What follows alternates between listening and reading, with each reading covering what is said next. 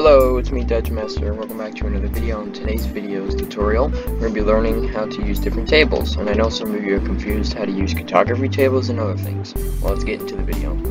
First, there's many kinds of tables. We're going to learn the newer ones. You already know about crafting tables, we're not getting into those.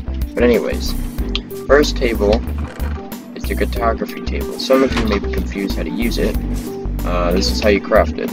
So, let's go actually, I am in survival. So all you need is two paper and four pieces of wood. Boom. I can have a cartography table. It's pretty easy.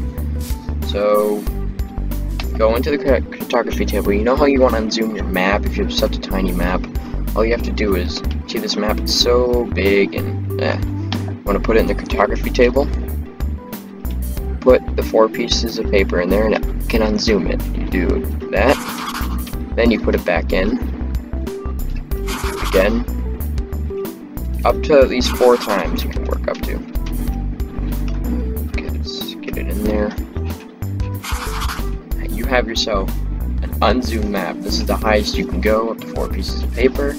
They're actually very useful if you want to find players or hunt or whatever. What I like about cartography tables. I like how they actually made it more realistic and added the update. And the fetching table the fletching table. It has no use. Only villagers can use it for trades, as you can't use it. Same with the smithing table, doesn't work either. Only villagers can use it for trades and things. So we're on to Blast Furnace. It's used for ores and minerals. It's way faster than using furnace, which is slower. Blast Furnace is easier. Just put iron ore and look how fast it goes. I'll take half of this show you how long it will take for the for the furnace to work. So we put that in there. Look how slow that is. Just look how fast. Do, do, do, do, do. This is ridiculous. Probably takes you smell all this will probably take you like 10 minutes. With this it'll take you like 5 minutes or less. That's what I like about the blast furnace, way faster. Now we're on to the smoker. Smokers faster, and as I said about furnaces, this takes longer. This just cooks food way faster. And how do you craft a uh, blast furnace and a smoker? It's easy. So, all you have to do is, where is it? Put for a blast furnace, you all you need is five pieces of iron, furnace, and three of smooth stone. Craft it, boom. You have yourself a blast furnace how to make a smoker.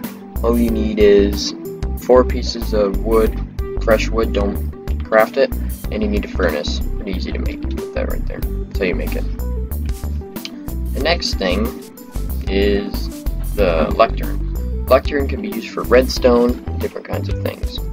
So let's get, let's let me just take all that, I'm gonna need that. So the lectern is used for redstone, or you just use it for decoration also. Same with the smithing table and the Fletcher. They're used for decoration or a target practice, whatever you like. With this, you just put a book in there. It can activate redstone. You can break it and deactivate it. Maybe used for secret bases. I know there's other reasons for redstone. For other things, I have no idea. I like these things. You're cool. Just put a, put a book in there and you can read it if you write a message. Cool. Now with the grindstone. You can fix things. Say if the sword's broken, it's easy. It's easier to craft than an anvil, but it can be. You gotta be careful. I'll, I'll tell you. you. Craft that. But if you put an enchant in there, you can take off the enchant and you won't have it. So you gotta be careful. You don't want to mess up your thing. So that's why anvils. If you want to repair an enchant sword, put it in an anvil. It will cost XP, but it's worth it. Well, I hope this video helped help you learn how to use these different kinds of tables, do more tutorials, and hope you enjoyed the video. Bye.